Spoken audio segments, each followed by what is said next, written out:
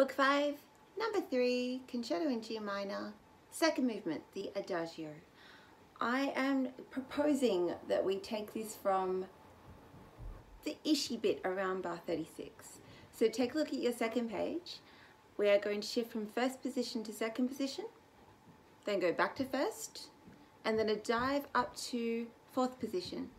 The little Roman 2 that's marked in your music is to tell you to stay on the second string, which is A string. So don't get confused and try and play second position. Your positions will never be marked in your music. To comply with that direction, we're going to shift to fourth position.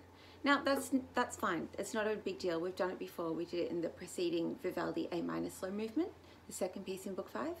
But it can take a little bit of practice and the best way to practice it is by identifying the ghost note. So let's just isolate those two bars and look at what we're really doing.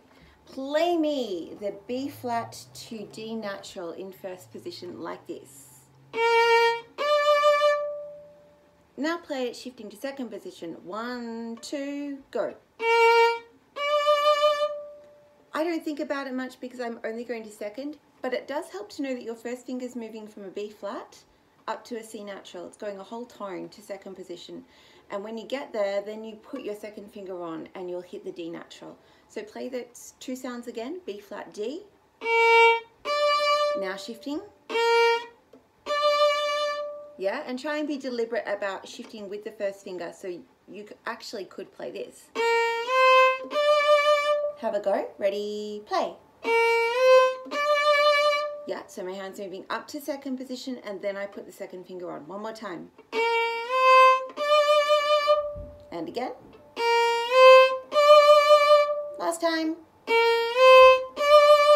Now, elide the C natural, don't play it, just shift to it. Again. One more. Cool. Let's play the fourth finger that comes next and the shift back to first position. So we get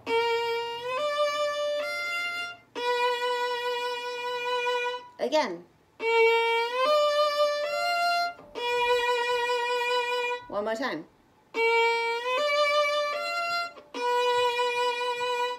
Okay, let's go on. Uh-huh, so we just got seven notes. And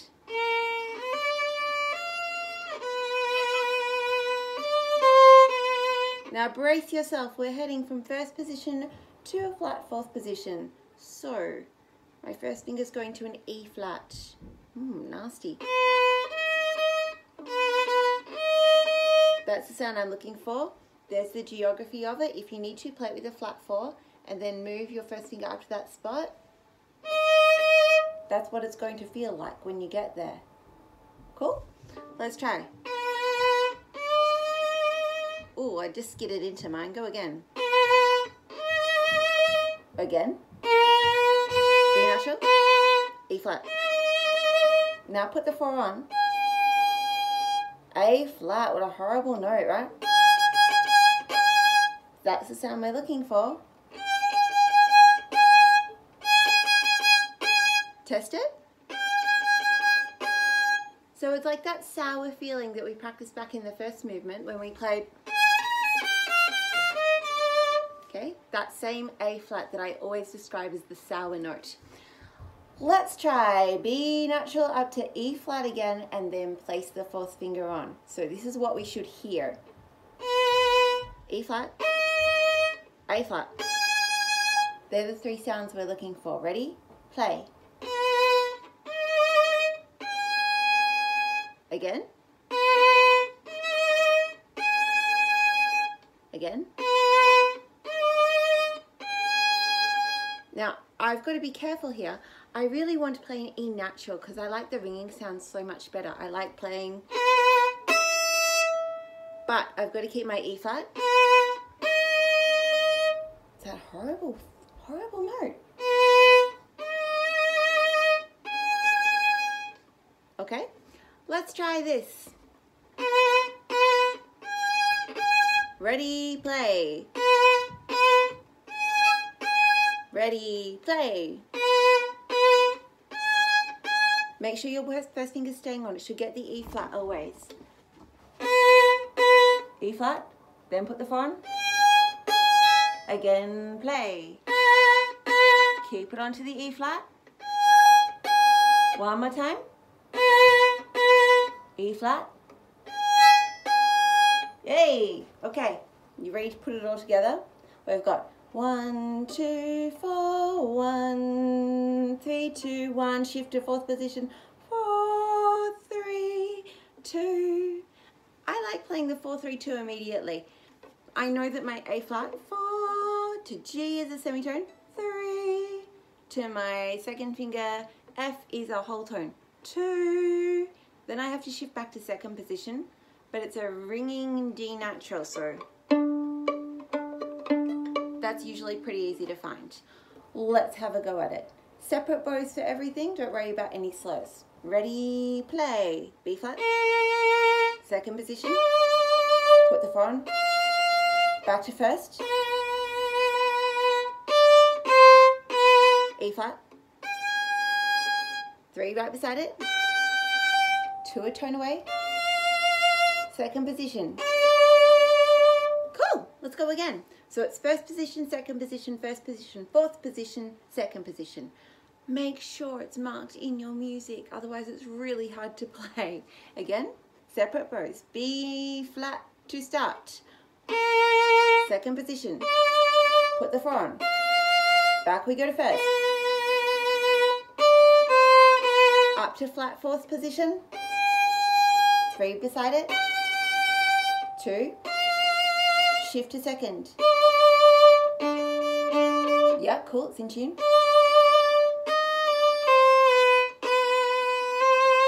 I just snuck that in hoping you wouldn't notice. Well, after you play the D natural, put the three right beside for E flat. Shift back a semitone. Yeah, nice easy ending. Let's try it as it's written with its bowing. Ready, play. Back to first. Fourth. Right beside. Two. Shift down. Put three on. Great, let's do that chunk again. It's only four bars, but these four bars are pretty pivotal. Okay, if you can get these, these four and the next four, you are home and hosed. The rest of the movement is so easy. Again. Put on, shift back, stay there, zoom to flat fourth, second, squish, move, retake to the tip. That's another good thing to practice. Retaking to the tip and landing with control. Okay, one more time, that little bit. Don't expect to have it perfect if this is the first day you're working on it.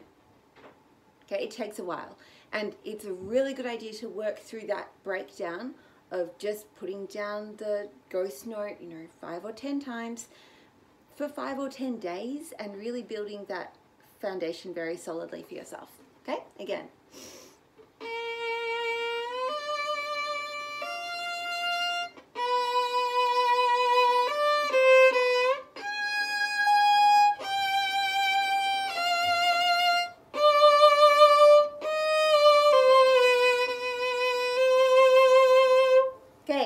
Day one, stop the video here and go back to the start and just play that much again. If you're ready to do the next bit, we're going to move back into second position. So we just played our C natural. Sneak your first finger into that spot so your hand is in second position. And now we're ready to start in second and go to third. Let's go separate bows. Third position. Put the four on. Back to a C sharp.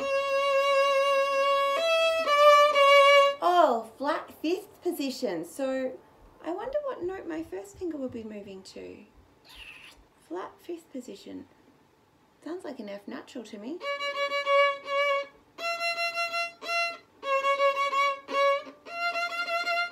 Yeah, the easiest way to do anything is to play the note first in first position so that you know what sound you're aiming for. And then once you've got that worked out, play it in its position that you're actually trying to aim for. So my notes that I'm playing I've got a C sharp. I'm going to move my first finger from C sharp up to F natural. Let's just do that. There's two sounds. Ready? Feels like you're moving just to where your violin joins onto the fingerboard. And as you do that, your thumb is going to come around. It doesn't have the same orientation anymore. So let me play it this way for you. Oh yeah, I'm shifting with my arm. Who knew shifting with the arm is the way to go? Oh, my bad habit of wearing all black. Okay, there we go. Now you can see my elbow. Oh yeah, okay, my arm's doing all the shifting for me. Thanks, just thought I should check that was the case. Okay, let's play it one more time. Now drop the four and we're looking for a B flat, which sounds like this.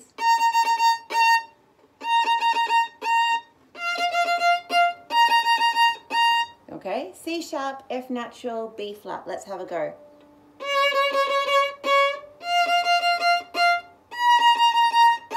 And again.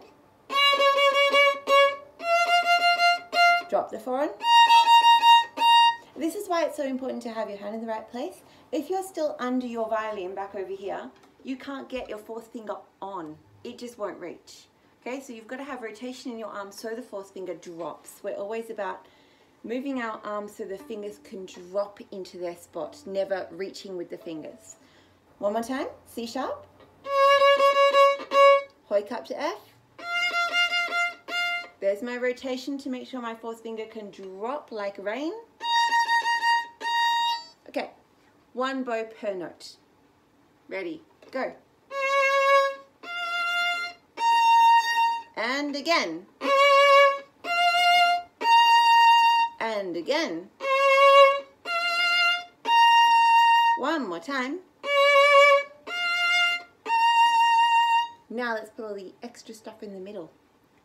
We've got... Don't really play the F, just get there. Put the four on. Again. Heft. I meant to say shift. I was thinking about heft and shift and it just came out wrong. Shift with your arm. Again. Squish the three beside just like last time. Leave a space for two just like last time.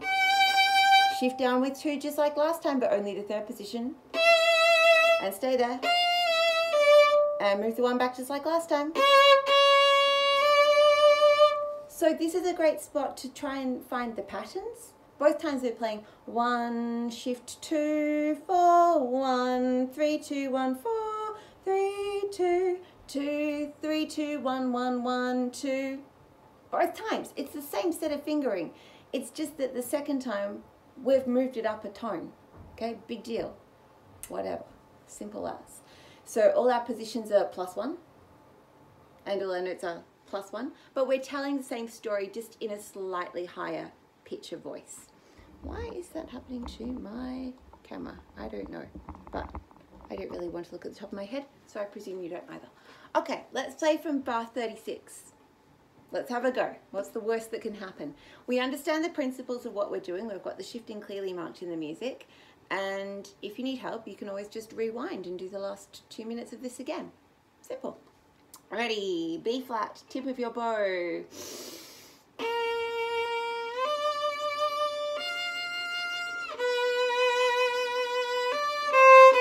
Move with one. Move on two. One back.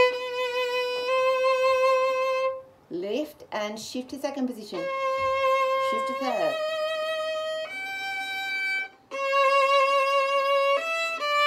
Hoik with the one.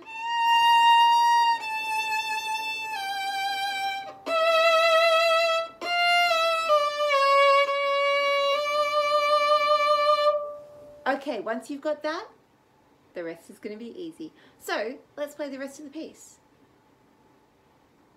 Okay, I lied. There's one other bit we should just take a quick look at. It's in bar 53 and 54. And you know how I was saying the easiest way to play something is in first position, just play the notes, and then play it with the shifting? Check this out. This is what happens in bar 53.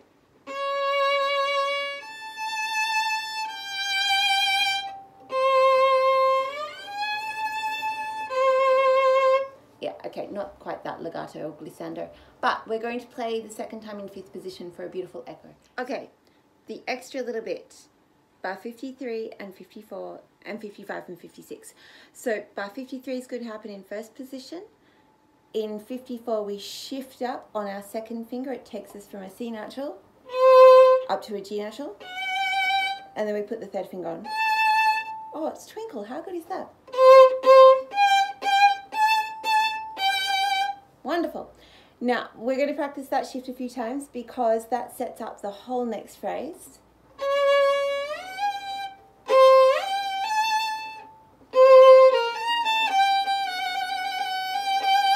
So it's worth marking in your music that after the C natural, we're in fifth position and we stay in fifth position until the solo, which is in third position at bar 61.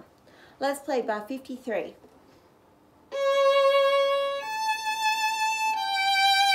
All good? Bar 54, start with the C natural, go to the ghost note, put the three on, take it across to D string, make sure your arm helps you.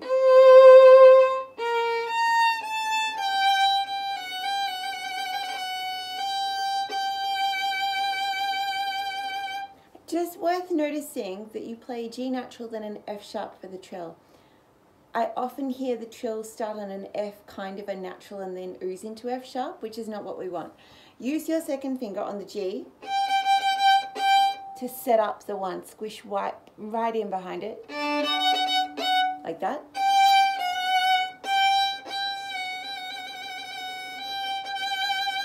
Keep your fingers right on the tips. Let's play from 53 again and I won't stop and talk about the shift, we'll just do it. And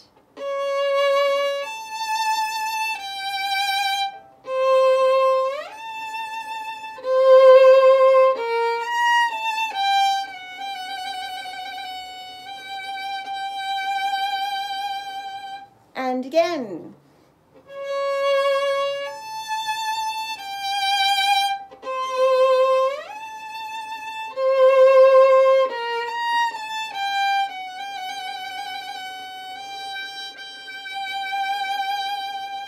That's a good spot to use as much bow as you need, not as much as you have available to you on those semi-quavers. Rahan pony, they're just short bows, okay? One more time from 53.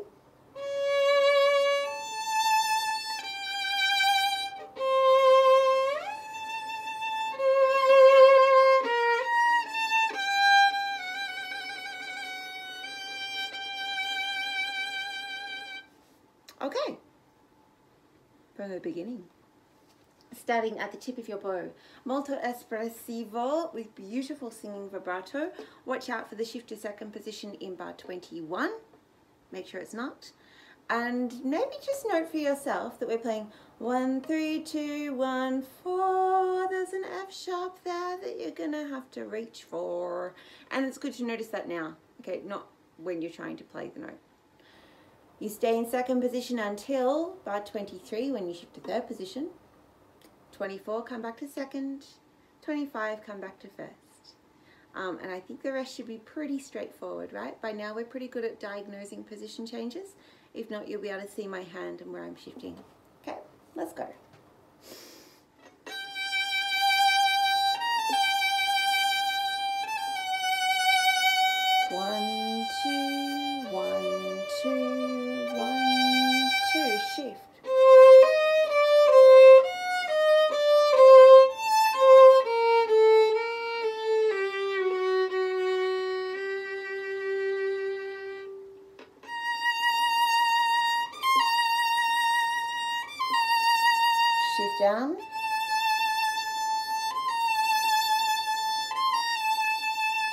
Down.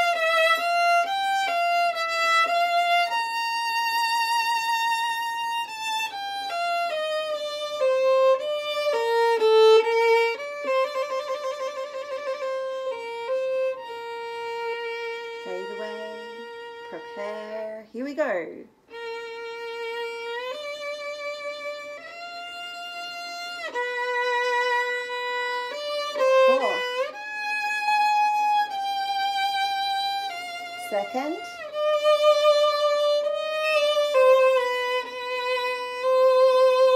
Retake to second position. Third. Second. Fifth. Right up on top. Back to third.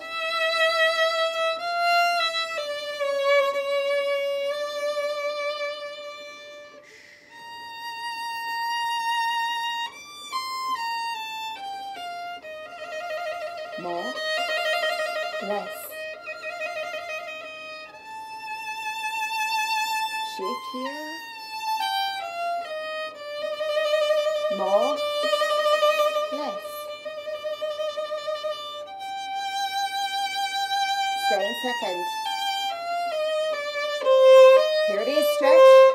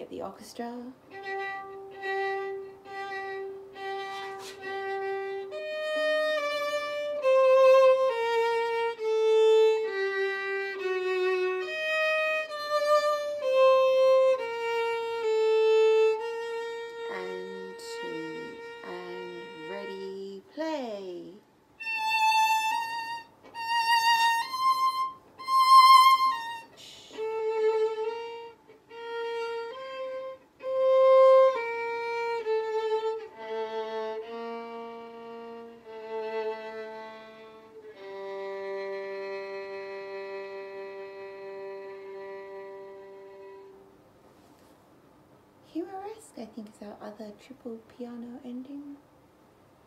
And it's got a lot of the same feeling in the shifting, especially in the third position. I hope that's hopeful. I hope that's helpful, not hopeful. I'm hopeful that's helpful. Let me know how you go. My dog's now complaining and would like to exit because I've stopped playing, so there's nothing to hang around for.